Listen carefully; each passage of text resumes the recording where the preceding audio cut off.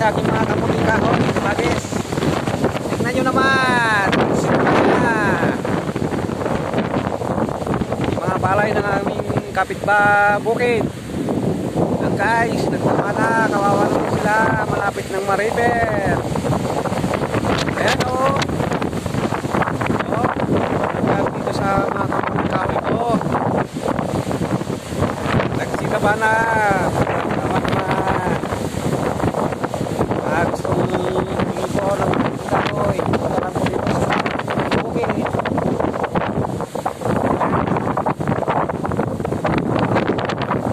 Signal number 3 na yata dito sa amin sa Isabela, Kabagin. Itong palayan na katabi, katabi ko. Ayan oh, mga dumaba na. Mga palay nila, kawawa naman sila. Ang laki-laki ng gastos, Kabagis. Tapos sa isang idlap, ito ang mangyayari. Mga palay. Ayan, kaya kaming mga magsasaka, kawawa naka pa-repair na ito aking pamangkin. Ito nakalipas guys! Natin nating spot yan. Malakas ang hangin kaso lang yung ulan hindi lang umahon na lang. Hindi ka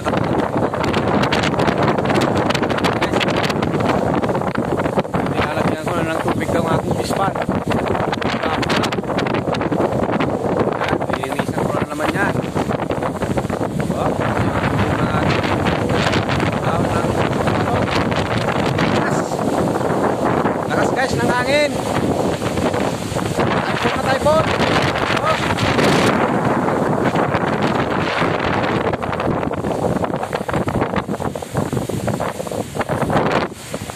Lamig. Oh.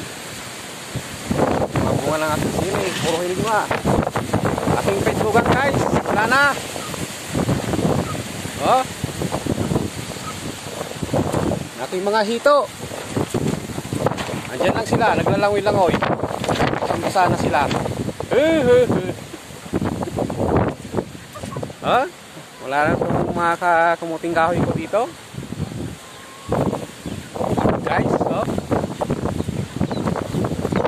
Oh. Ito pala yung aking lagayan ng ano, net. Sa sobrang lakas ng hangin.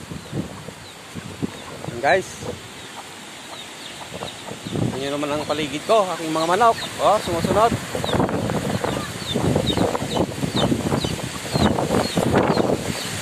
Oh. At,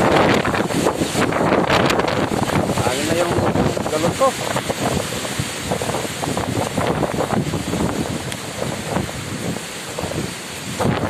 Yan, mga manok guys, oh. Nasa ahoy, nung tumba.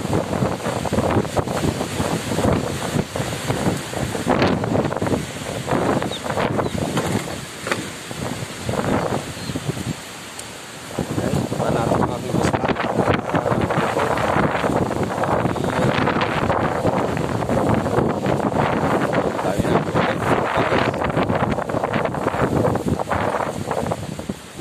Oh.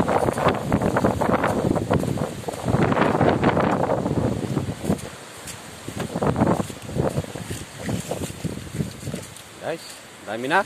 Maapaw na oh. Go overflow na doon sa may tubo. Ayan oh. Wala na. Ang lakas ng ulan kanina. Ayan guys, oh, sa may tubo. Lumalabas na yung tubig. Ating mga lagang baka, nilagay ko na dito sa malapit sa akin. Kasi doon sa ano, pinag-repairan.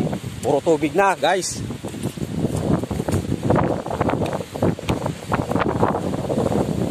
Ay, tingnan mo ginawa ng aking baka.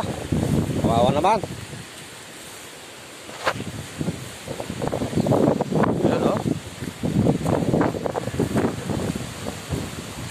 Dilag at si bulog. Ayun, nakahiga yung bulog ko. Mga baka.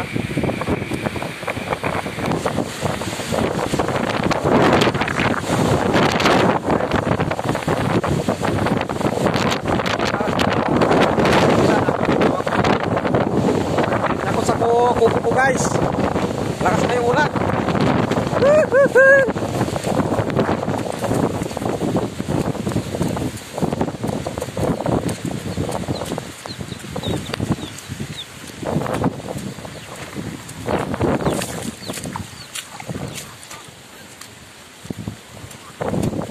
Saan ako? Yeah. Whew. Hanggang dito na lang muna, kabagis. Huh, lakas ng ulan. 2,000 years later. Yo, good morning, kabagis. Ito na ang iniwanang pinsala ni Florita, ang bagyo dito sa amin, sa Isabela po. Yan ang aking pispan, marami ng tubig. Dahil may pumapasok na nanggagaling dyan sa may flowing ko. Yan guys. Ay, ito nga pala, update sa aking flowing. Mga kabagis. Ito ay lumakas. Ayan oh. Sa awan ng Diyos. Sa sunod-sunod na pag-ulan, ito naman ay lumakas. Bagya. Tara guys, at puntan natin yung mga damage na iniwanan ni Florita sa aking mga pananim na mga gulay-gulay. Ating mga kamuting kahoy tignan natin. Guys oh. Kadapa-dapa. Uh, dahon ng kamuting kahoy nandyan nakakalat oh. Ayan oh. Guys ating pispan malapit ng makuha niya yung level na paglalagyan ko ng fingerlings. Hanggang dyan lang naman oh. Pwede nalagyan ng fingerlings yan.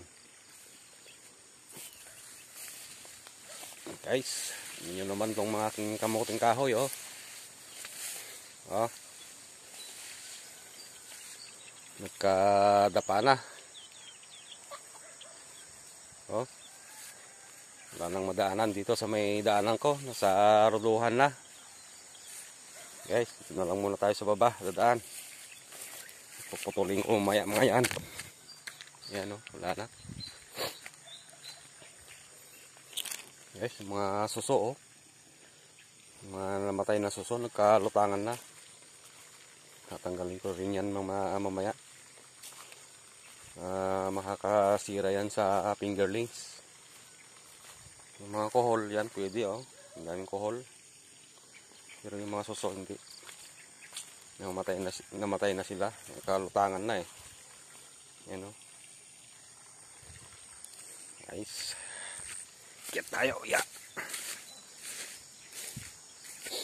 oh yun yung nangyari oh oh pati yung kamuting kahoy na nabunot na kusa na nabunot kabagis. Lumabas siya yung ano niya oh bagas-bagas niya oh. Oh. Yeah. Guys.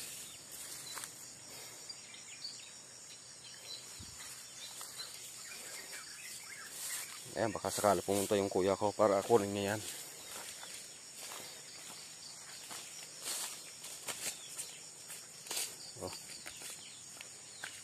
yan natin tong mga palay nila dito sa uh, katabi namin guys. Wala na oh. Natapa na. Isang linggo na lang yan guys. Mariripar na yan. Tingnan natin. Kawawa naman sila. Ayan oh. Oh laki ng gastos nila dyan oh lawak lawak pa ng mga dalawang hektare ayan. Oh guys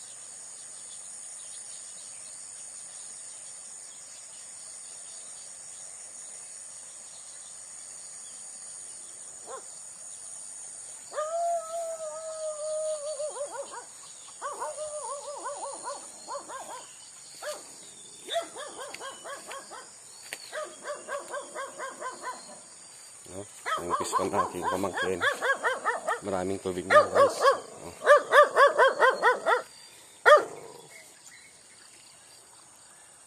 A few moments later. Yan guys. Ang iniwang pinsalan ni Purita. Ito oh, mga saging nagkatumbahan.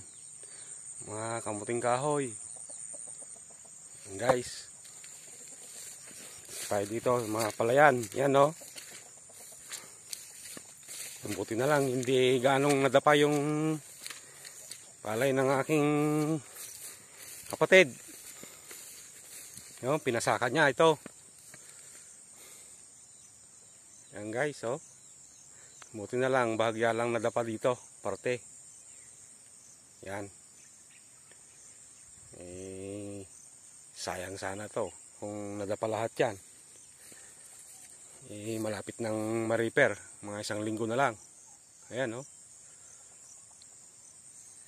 Oh. Yung mga ipil-ipil dito na ano, nato, nagkatumbahan. Ang lakas ng hangin niya. Yung hangin ng malakas, guys. Yung ulan, hindi gaano. Oh, ang aking aso nandito, sumusunod. Dags! Dags!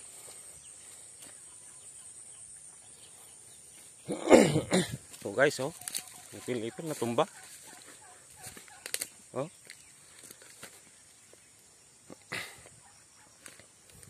Sobrang lakas ng hangin dito, parte. Ah, kita nyo naman. Oh. Laking ipil-ipil pero natumba pa din. Guys, tayo sa party ko. Mga katabi ko lang mga ito. Yan, mga pinutol na ano na. Kamuting kahoy guys. Yan to. No, magkadapaan ng mga ka- kahoy dito. Oh. Sayang. Ayan oh. Kahoy ng aking kapatid. Kamuting kahoy. Ayan. Tara guys. Kaya tayo dito sa aking pispan. Uh, nabisit ka na natin ating mga lagang hayop. Mga baka. Yung dalawa akong baka nandito sa taas. Inakyat ko kahapon dahil sobrang lakas ng ulan doon. Saka hangin. Ito oh. Excuse me po. Oh, ang aking bakang buntis. Oh, kumusta ka? Oh, kusak-kusak. Kabagis. Guys, okay na okay siya. Papahinga lang. Ang daming ano, lamok oh. Yung maliliit na lamok ba? Ang tawag doon, sip-sip sa amin. Yung likod niya oh. Oh. Kati naman ng kagat niyan. Yung maliliit na ano oh, dumudugo oh. Guys, oh. Hmm. Wala, wala naman tong baka ko na to. Guys, tapos yung isa kong baka pa. Si Bulog naman. Bulog. Eh, Tinali ko dito sa puno ng paper tree kabagis kahapon dahil sobrang lakas ng hangin. Hangin sa kaulan. Ito, ganun din. Dami ring lamok dito, oh. Guys, yung maliliit na lamok. Sip-sip tawag sa amin. Sakit ng kagat niya. Makate. Yo, bulog. Kumusta? Ha? Pakamot din siya ng ulo, oh. Oh. Kasak-kusak. Diba guys?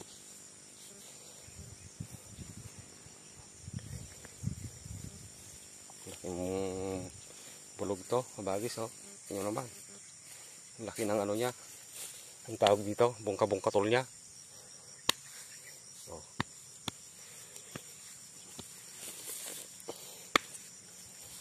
Tara na. Gali ko dito kabagis. Oh. Puro lang paper tree. Hindi siya makawala dito. Yan. Okay guys. Ah, hanggang dito na lang muna. Ah, ayan. Tumayo siya. Oh.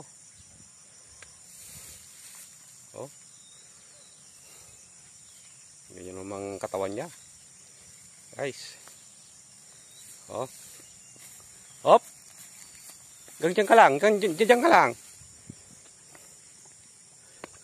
Diyan ka lang muna. Hmm, guys. Ganyan naman. Oh. Parang kailan lang to. Dalawang taon na sa akin to. Aba guys. Oh, sumusunod. Papa video pa. Oh, guys, oh.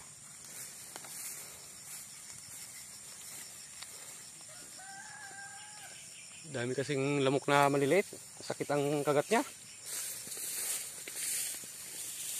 Hey guys, shout out na lang sa inyong lahat.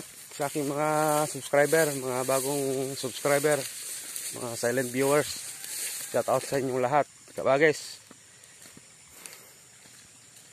Uh, nandito na tayo sa ating pispan. Ito, ito ay pinatubigan ko na para masusunod na linggo siguro. Maglalagay na naman tayo ng panibagong fingerlings.